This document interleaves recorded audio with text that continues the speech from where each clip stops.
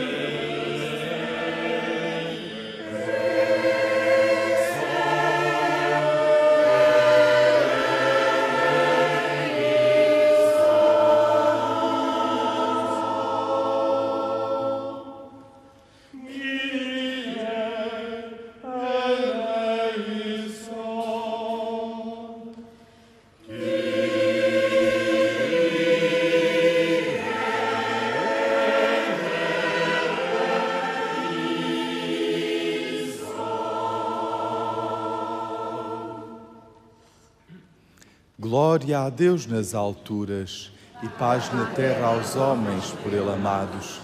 Senhor Deus, Rei dos céus, Deus Pai Todo-Poderoso, nós vos louvamos, nós vos bendizemos, nós vos adoramos, nós vos glorificamos, nós vos damos graças por vossa imensa glória.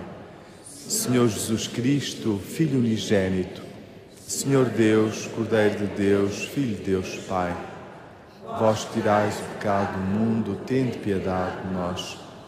Vós que tirais o pecado do mundo, colhei a nossa súplica. Vós que estáis à direita do Pai, tende piedade de nós. Só vós sois o Santo, só vós o Senhor, só vós o Altíssimo Jesus Cristo, com o Espírito Santo, na glória de Deus Pai. Amém. Oremos.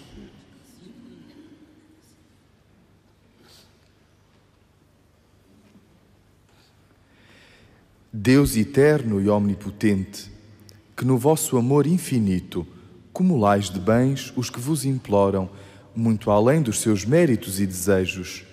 Pela vossa misericórdia, libertai a nossa consciência de toda a inquietação e dai-nos o que nem sequer ousamos pedir. Por nosso Senhor Jesus Cristo, vosso Filho, que é Deus convosco na unidade do Espírito Santo.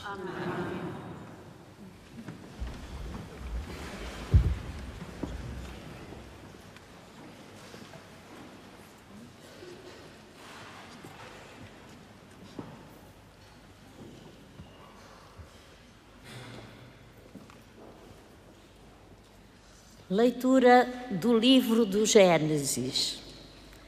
Disse o Senhor Deus: Não é bom o que o homem esteja só. Vou dar-lhe uma auxiliar semelhante a ele. Então o Senhor Deus, depois de ter formado da terra todos os animais do campo e todas as aves do céu, conduziu-os até junto do homem, para ver como ele os chamaria, a fim de que todos os seres vivos fossem conhecidos pelo nome que o homem lhes desse. O homem chamou pelos seus nomes todos os animais domésticos, todas as aves do céu e todos os animais do campo mas não encontrou uma auxiliar semelhante a ele. Então o Senhor Deus fez descer sobre o homem um sono profundo, e enquanto ele dormia, tirou-lhe uma costela, fazendo crescer a carne em seu lugar. Da costela do homem, o Senhor Deus formou a mulher e apresentou-a ao homem. Ao vê-la, o homem exclamou: Esta é realmente osso dos meus ossos e carne da minha carne. Chamar-se-á mulher, porque foi tirada do homem. Por isso, o homem deixará pai e mãe para se unir à sua esposa, e os dois serão uma só carne. Palavra do Senhor. temes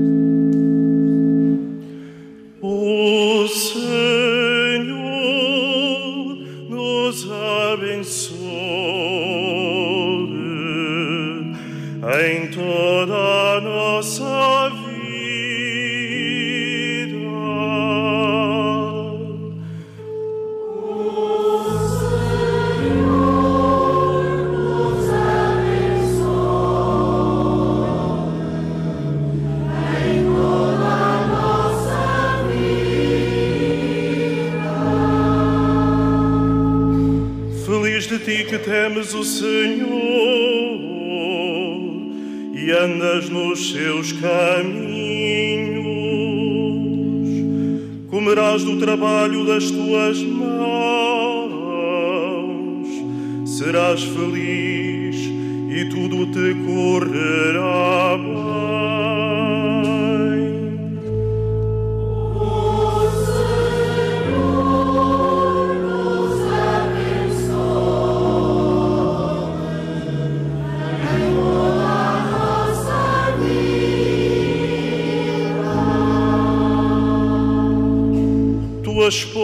será como videira fecunda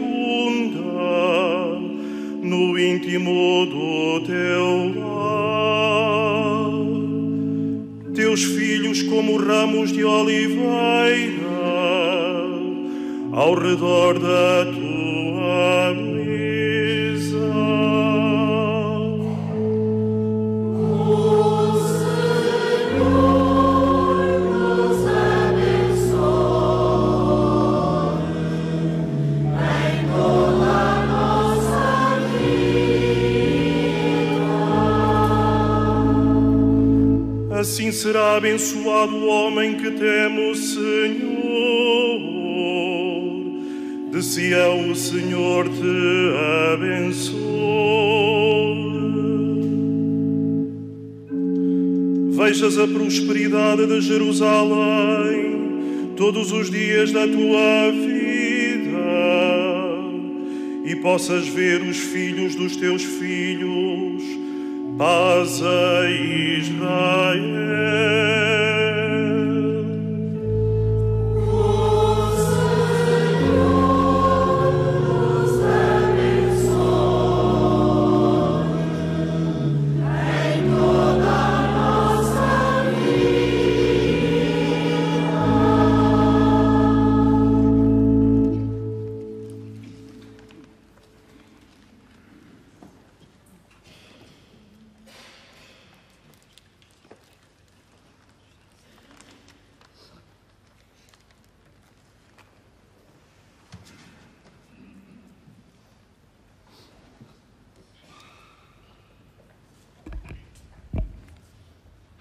Leitura da Epístola aos Hebreus. Irmãos, Jesus, que por um pouco foi inferior aos anjos, vemo-lo agora coroado de glória e de honra por causa da morte que sofreu, pois era necessário que, pela graça de Deus, experimentasse a morte em proveito de todos. Convinha, na verdade, que Deus, origem e fim de todas as coisas, querendo conduzir muitos filhos para a sua glória, levasse à glória perfeita, pelo sofrimento, o Autor da salvação. Pois aquele que santifica e os que são santificados procedem todos de um só. Por isso, se, não se envergonha de lhes chamar irmãos. Palavra do Senhor. O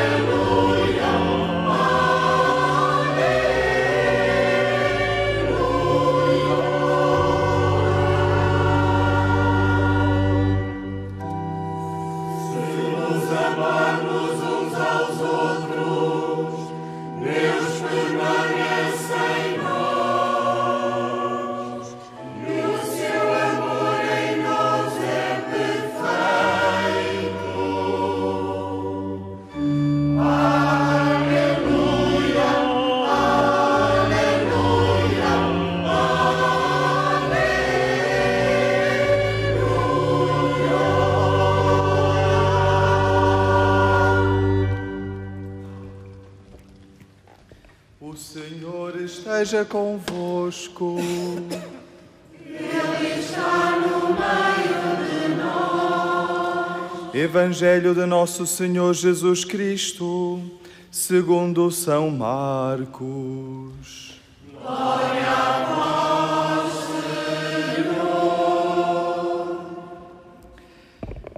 Naquele tempo, aproximaram-se de Jesus uns fariseus para o porem à prova e perguntaram-lhe: Pode um homem repudiar a sua mulher?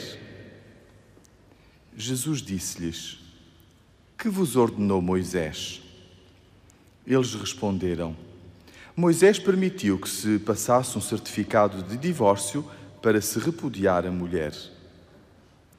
Jesus disse-lhes: Foi por causa da dureza do vosso coração que ele vos deixou essa lei. Mas no princípio da criação, Deus fê-los homem e mulher. Por isso, o homem deixará pai e mãe para se unir à sua esposa e os dois serão uma só carne. Deste modo, já não são dois, mas uma só carne. Portanto, não separa o homem o que Deus uniu. Em casa, os discípulos interrogaram-no de novo sobre este assunto. Jesus disse-lhes então: Quem repudiar a sua mulher e casar com outra, comete adultério contra a primeira.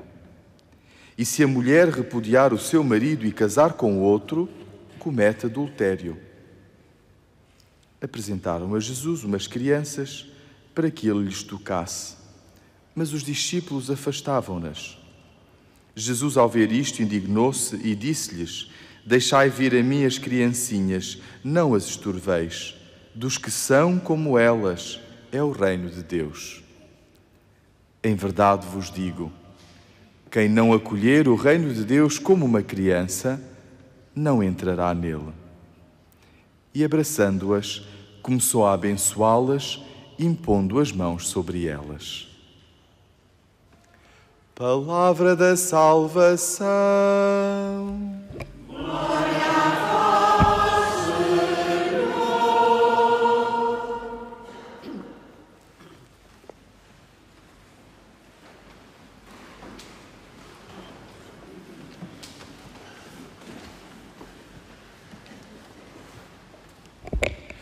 Uns fariseus aproximaram-se de Jesus para o porem à prova, para o provocarem. Não se aproximaram de Jesus como a multidão que seguia Jesus, que acompanhava Jesus, que queriam ouvir palavras de verdade, que queriam ouvir quem os compreendia, quem tinha uma palavra de salvação para eles acolherem. Os fariseus, pelo contrário, aproximam-se de Jesus para o provocarem, porque sabiam que, provocando, certamente Jesus iria ser condenado. E provocam-no da seguinte forma: escutamos no Evangelho. Pode um homem repudiar uma mulher? Pode um homem repudiar uma mulher? E a provocação era esta: se Jesus dizia que não, ia contra a lei. Ou pior, não ia contra a lei, ia contra aquilo que estava estabelecido e aquilo que vinha acontecendo em Israel desde há muitos anos. E, portanto, se dizia que não, os fariseus, toda a classe sacerdotal, todos os homens de Israel se punham contra ele. Se dizia que sim, então a sua mensagem de salvação, toda a sua bondade, todas as suas palavras de amor, de um Deus amor, que revelavam um Deus amor, podiam cair por terra. E neste caso, as mulheres, que em tão grande quantidade o seguiam, porque sentiam nele palavras de libertação, ficavam elas uh, a perder com estas palavras de Jesus. E esta era a provocação. Queriam encurralar Jesus, queriam obrigá-lo a ficar de mal com alguma das partes. Mas pensemos, por que é que não lhe perguntaram antes: pode uma mulher repudiar um homem? Porque a mulher tinha poucos direitos, ou quase nenhum naquele tempo. E aí residia o problema. Em que condição ficava uma mulher que era repudiada por um homem? Numa condição terrível. Não tinha quem cuidasse dela, não tinha quem a sustentasse, a fome certamente seria uma das suas condições, a insegurança a mesma coisa, votada ao perigo, tantos perigos que a sua vida poderia sofrer, escorraçada da sociedade.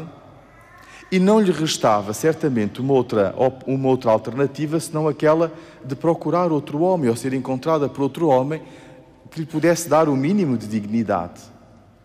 E se o primeiro marido soubesse, que ela vivia com outro homem, então aí acusava legitimamente de adultério e ela podia ser lapidada, morta, lapidada.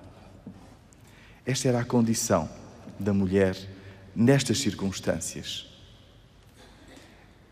E que responde Jesus? Reparai que Jesus não diz nem sim nem não. A resposta de Jesus remete para as origens, para o projeto de Deus no princípio, quando Deus criou todas as coisas e criou o homem e a mulher. E remeter para o princípio significa remeter para a harmonia, significa remeter para a felicidade. Lembramos das palavras do Gênesis, que Deus, depois que criou todas as coisas, viu que tudo era muito bom e alegrou-se e ficou feliz porque tudo era muito bom. Então, o que Jesus está a dizer àqueles fariseus e diz a nós também é que, diante de circunstâncias difíceis na vida matrimonial, nós devemos recordar a origem do amor, o projeto divino do amor de Deus. E de facto, Jesus diz: O que diz Moisés? E os fariseus defenderam-se logo. Ah, Moisés disse que sim, que se podia passar um atestado de divórcio à mulher que o homem quisesse repudiar. O problema estava na interpretação que se, que se dava à razão pela qual Moisés tinha dado essa lei. Podia-se repudiar a mulher por qualquer causa, até banal e insignificante, ou por causas muito graves causas muito graves, o adultério, por exemplo, a desobediência ao marido, causas mínimas, eh, bastava que o homem deixasse de gostar da mulher, ou se a mulher lhe tivesse desagradado com alguma coisa, ou até tivesse esturricado uma refeição, eh, e ele repudiava a mulher. Então, reparai nos exageros do comportamento que se vivia em relação a algo que Moisés tinha permitido. Mas Jesus diz muito claramente: foi por causa da dureza do vosso coração por causa da dureza do vosso coração. Esta palavra em grego é muito interessante, é esclerocardia. Esclerocardia, dureza de coração, significa sem coração, não ter coração, não ter amor, não ter sentimentos, não ter sensibilidade. É a mesma palavra que Deus usa para com o seu povo quando não permitiu que ele entrasse na terra prometida e o fez andar errante mais 40 anos pelo deserto, porque ainda não estavam preparados para acolher a vontade de Deus. Esclerocardia é a mesma palavra que Jesus usa para com aqueles que o queriam provocar. Diz: Vós dizeis isso porque sois sem coração. Porque ao repudiar a mulher, não tendes em conta o inferno que fazeis passar essas mulheres nas suas casas. Porque em vez, em vez de construir um lar cheio de amor, construís um lar que é um inferno. E por isso quereis resolver o problema da forma mais fácil. É isto que Jesus está a dizer. Os discípulos também não ficaram muito contentes com a resposta.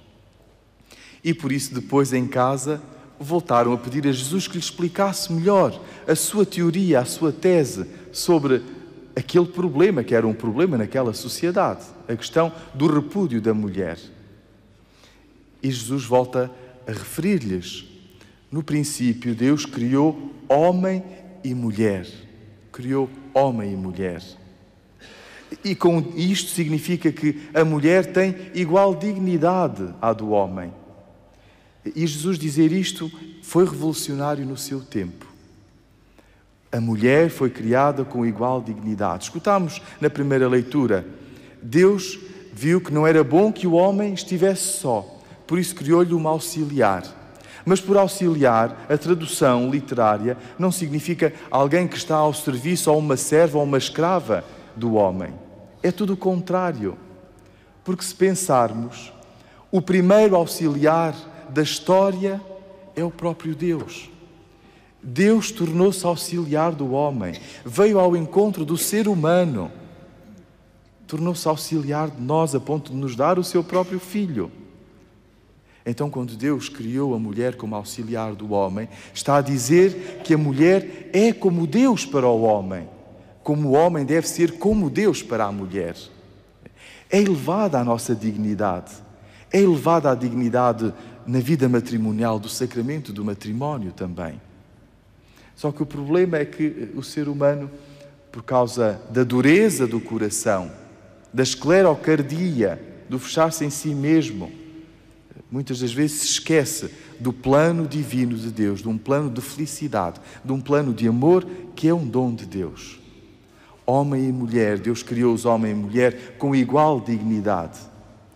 Depois disse: o homem deixará pai e mãe para criar a sua própria casa, para viver com a mulher. E deixar pai e mãe não significa abandonar os pais. Isso iria contra os mandamentos de Moisés. Honra pai e mãe.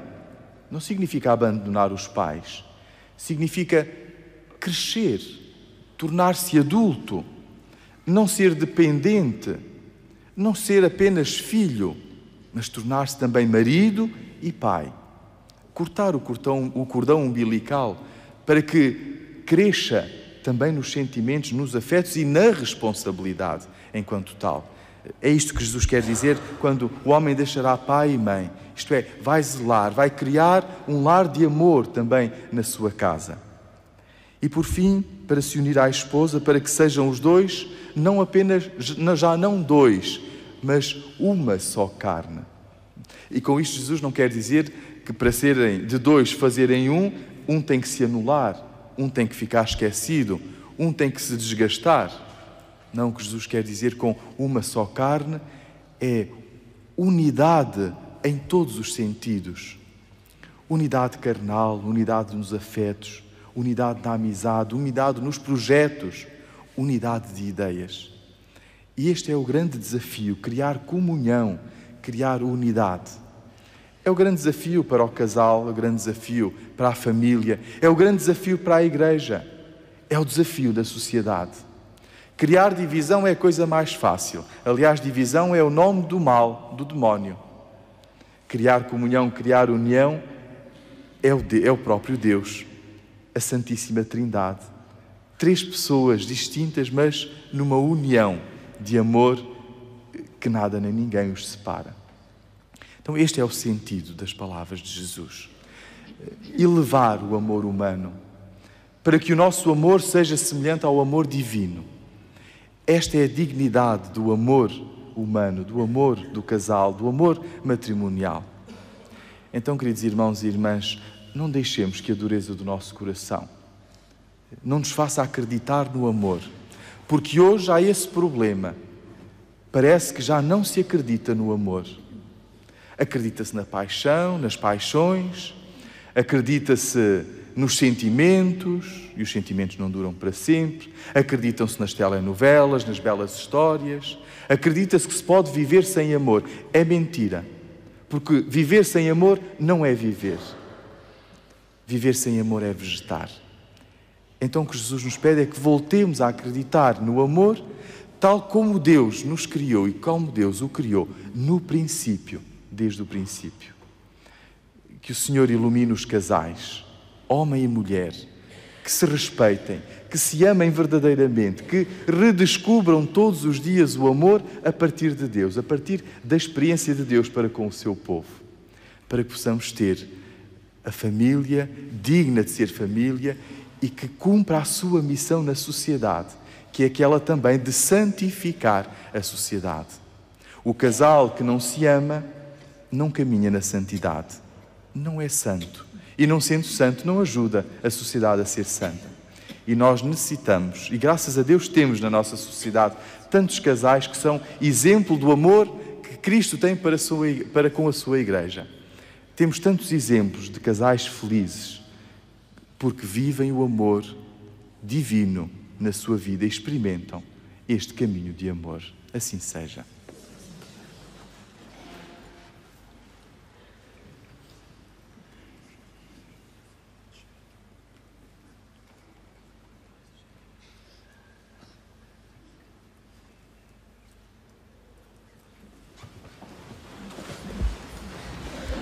Irmãos, professemos a nossa fé.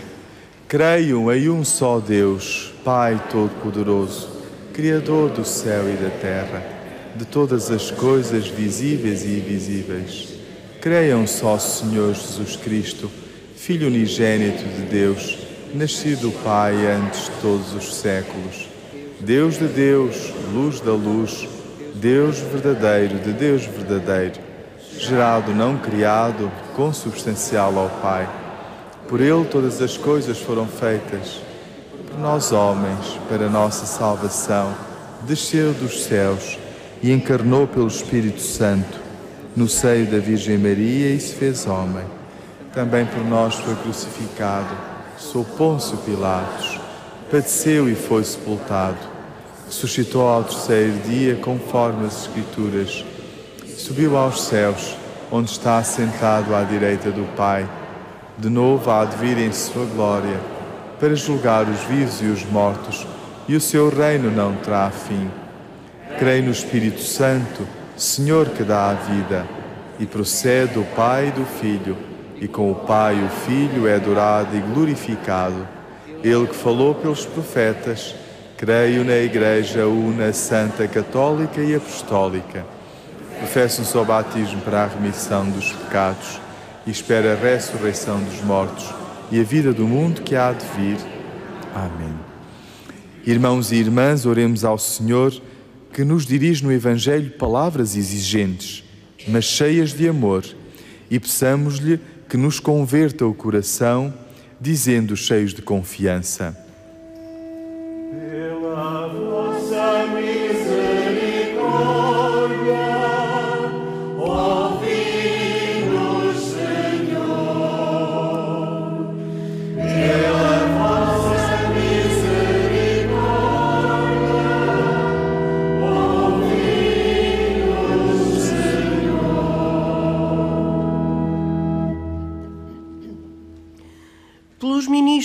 Santa Igreja e pelos fiéis, para que sejam testemunhas da ternura de Deus que criou o homem à sua imagem.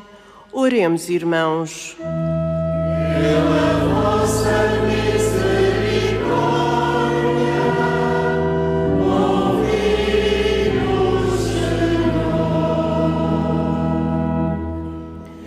pelos jovens que se preparam para o matrimónio, para que encontrem nas palavras de Jesus o apelo à fidelidade no amor, oremos, irmãos.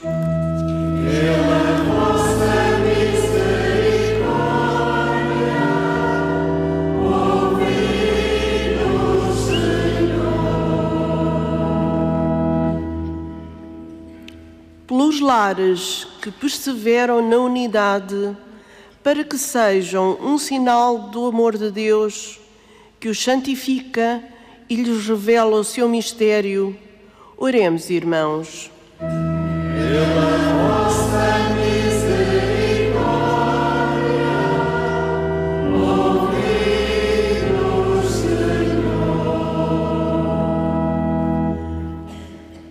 pelos lares separados ou desfeitos e pelas pessoas que voltaram a casar, para que encontrem quem as ajude e compreenda. Oremos, irmãos.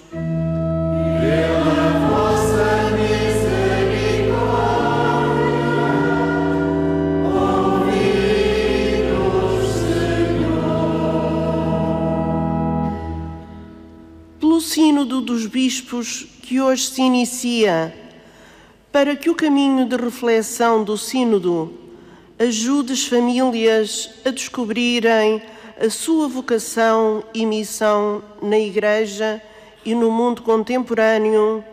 Oremos, irmãos.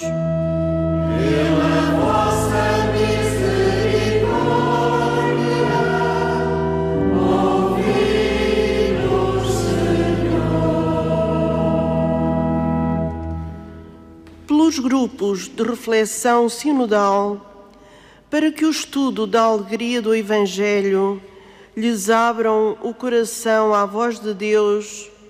Oremos, irmãos.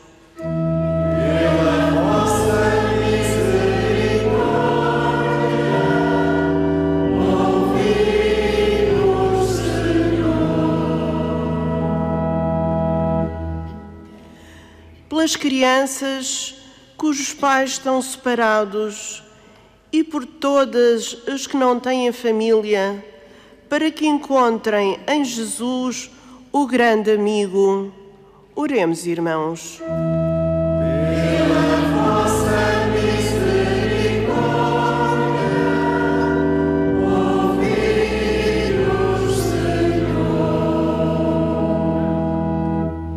Acolhei, Senhor, a nossa oração e dai a todos aqueles por quem pedimos a força de viverem no amor e na paz para serem chamados vossos filhos. Por Cristo nosso Senhor.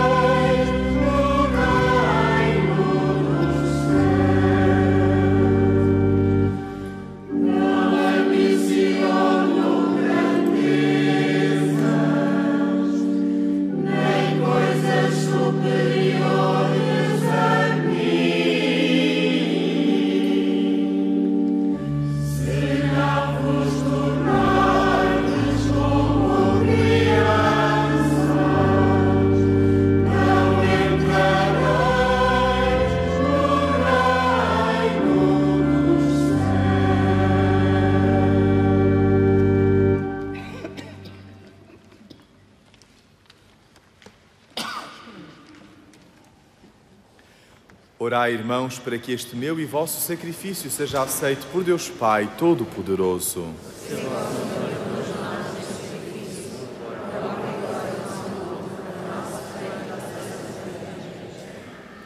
Aceitai, Senhor, o sacrifício que vós mesmo nos mandastes oferecer, e por estes sagrados mistérios que celebramos, confirmai em nós a obra da redenção. Por Cristo, nosso Senhor. Amém. O Senhor esteja convosco. Ele está no meio de nós. Corações ao alto. O nosso coração está em Deus. Demos graças ao Senhor nosso Deus.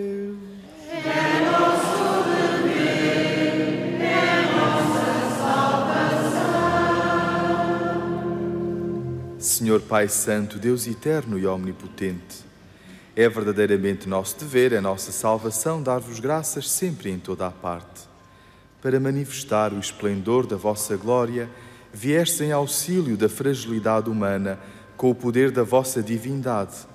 Da nossa condição mortal, tirastes o remédio para vencer a morte, e da nossa ruína abriste o caminho da salvação por Cristo nosso Senhor. Por Ele, com a multidão dos anjos que adoram a vossa majestade e se alegram eternamente na vossa presença, proclamamos a vossa glória, cantando numa só voz.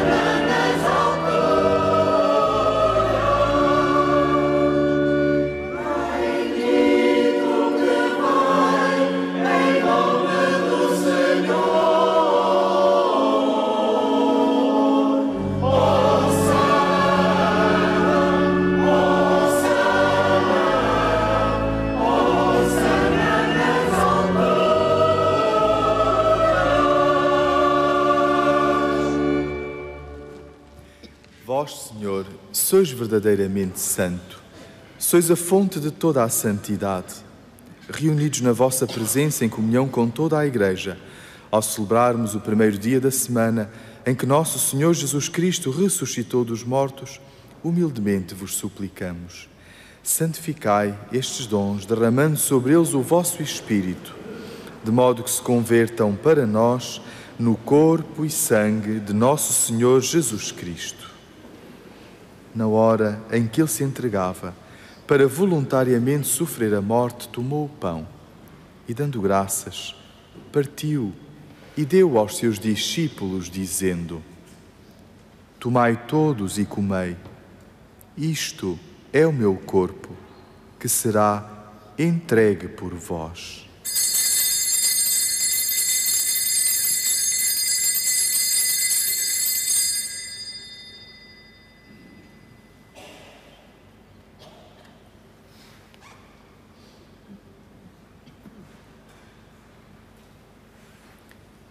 De igual modo, no fim da ceia, tomou o cálice e, dando graças, deu aos seus discípulos, dizendo: Tomai todos e bebei.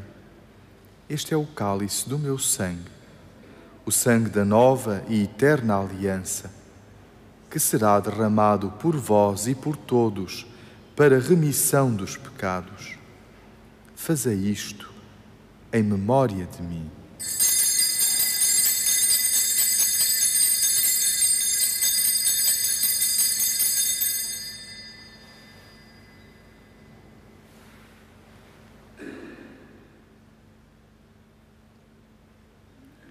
Mistério da fé.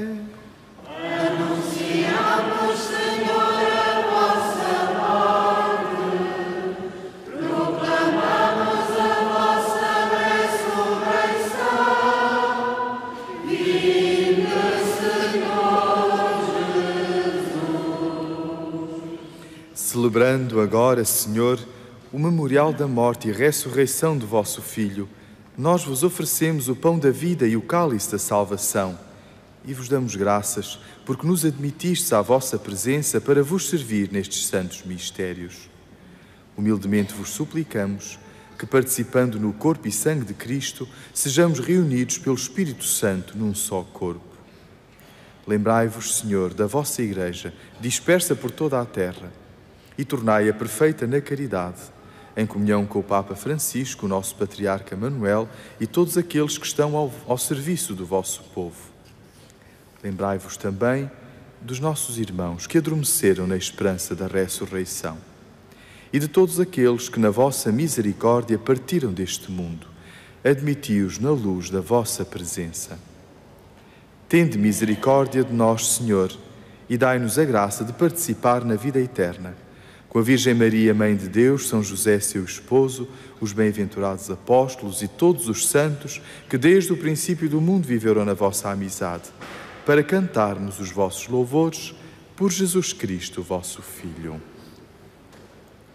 Por Cristo, com Cristo, em Cristo, a vós, Deus Pai Todo-Poderoso, na unidade do Espírito Santo, toda a honra e toda a glória, agora e para sempre.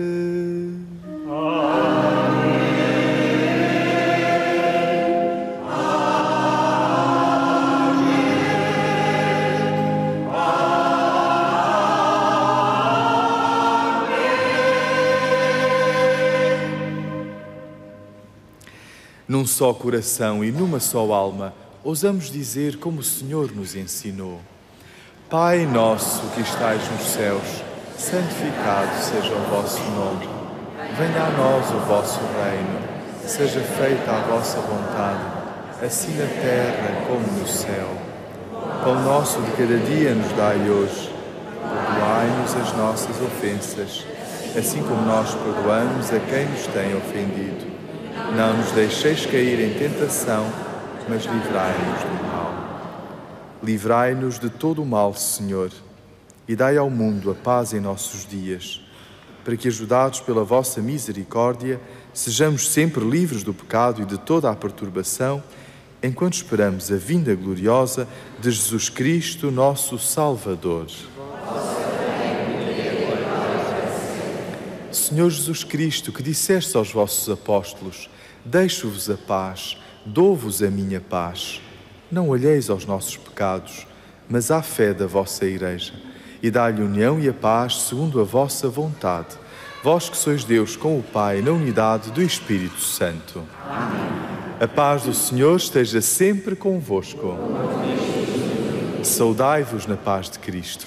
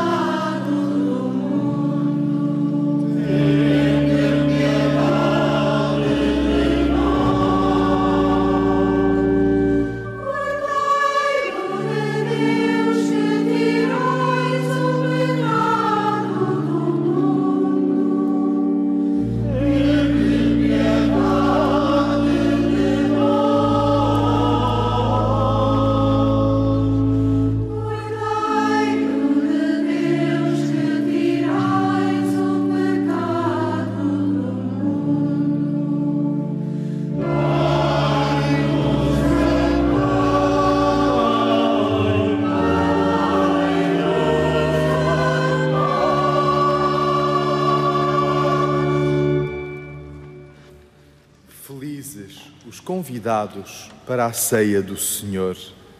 Eis o Cordeiro de Deus que tira o pecado do mundo. Senhor, a